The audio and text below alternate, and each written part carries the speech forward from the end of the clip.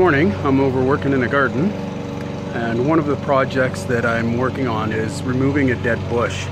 Um, this burning bush has obviously been gone for some time and the client couldn't figure out why this bush was was had died. Um, upon first inspection there was no reason why it should have just died. All the other plants in the area are healthy and so I started digging it out. And now that I've got it out, I know exactly why it died. This is the root stock of the plant that had died. It was a, it's a burning bush.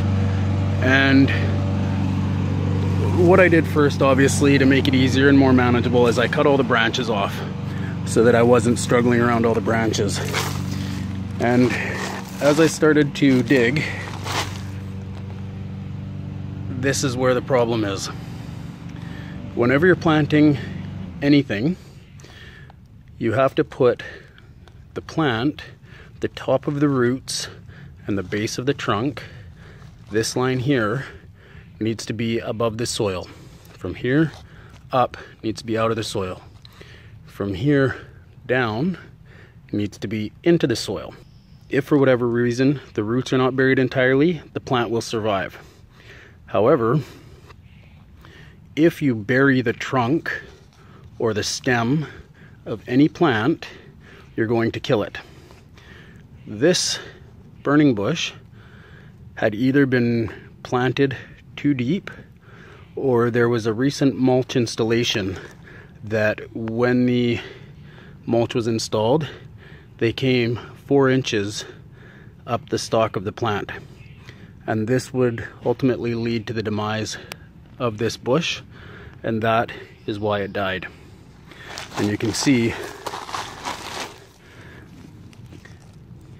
here is the line at which it should be planted and any topsoil or mulch should never come above this line.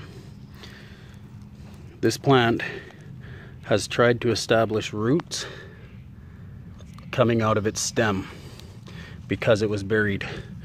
This branch here was below the surface by at least two and a half to three inches. So the soil level was up to this point. And you can see that it's a different coloration, even though it's dead and it's all, it's a different coloration because this died.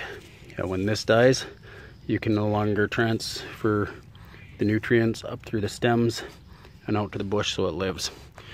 So when you are planting new plants, especially shrubs and bushes, when they come out of the pot, the level of the soil that they are in in the pot has to be level to the finished level of the soil that you are putting it into. So, for example, if you are going to plant this and then put bark mulch on, you would plant this and leave it a few inches above so that your compost mulch, your aged compost mulch, your topsoil, whatever it is, is going to end at the level of the soil where the plant was growing. So hopefully this little tip provides you some insight into your garden if you have plants for landscaping and you're going to be putting some plants in. Remember to plant the plants at the same height that they were growing in. Don't bury the stalks, that will kill them and your plants will die. If you like this video, give it a thumbs up and make sure to subscribe to our channel so that you can be notified of any other tips and tricks for gardening that we may post.